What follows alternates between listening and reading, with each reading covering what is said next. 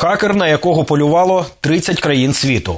Хакер, якого підозрюють в організації злочинного угрупування, яке заразило вірусами щонайменше півмільйона комп'ютерів по всьому світу і збагатилось на мільйони.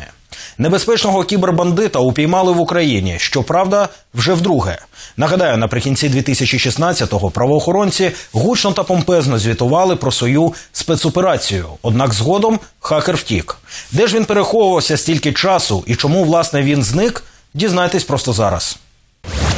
Спіймали на гарячому вдруге. У Києві схопили хакера, на якого полювали 30 країн світу. Геннадій Капканов, організатор злочинного угрупування Аваланч. Сім років група розповсюджувала шкідливі програми, які використовувалися для розсилки спаму, крадіжки паролів і даних кредитних карт. Злочинці контролювали 500 тисяч заражених вірусами комп'ютерів у 180 країнах світу. На часі відомо, зловмисник підробив паспорт громадянина України на чуже ім'я. Завдяки фальшивому документу затриманий і зумів пробратися до столиці, і деякий час тут безтурботно жив.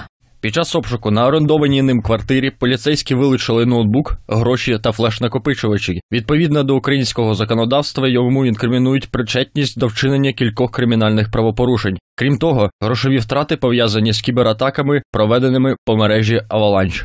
Що вражає у цій історії? Арештований чоловік це той самий зловмисник, якого вже затримували майже півтора роки тому. 30 листопада 2016 року в центрі Полтави провели спецоперацію. Про її успіх відзвітували і в українській поліції, і в СБУ.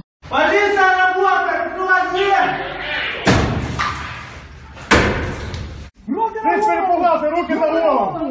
Чоловік намагався втекти через балкон, відстрілювався від поліцейських, але його все ж таки заарештували. Станом на 2016 рік кіберзлочинці розшукували понад 4 роки ФБР, Європол та поліція. За даними Європолу, вірусна програма поцупила понад 100 мільйонів євро у світі.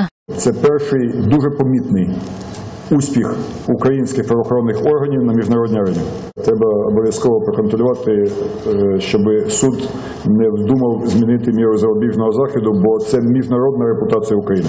Історія могла завершити ще два роки тому, коли і затримали всесвітньо відомого хакера Геннадія Капкана. Однак 1 грудня 2016 року Октябрьський райсуд Полтави відмовився дати дозвіл на арешт підозрюваного у кіберзлочинах. Прокурор вимагав 40 діб арешту. Чоловіка планували передати до Німеччини. Там йому загрожувало 10 років за ґратами. Натомість суддя Лариса Кулешова відмовилася задовільнити клопотання прокурора. Сказала, що хакер є українцем, а згідно із законами громадян України не видають іншим країнам. Більше того, чоловіка відпустили під домашній арешт. Тоді то зловмисники втік. Хакер опинився на волі.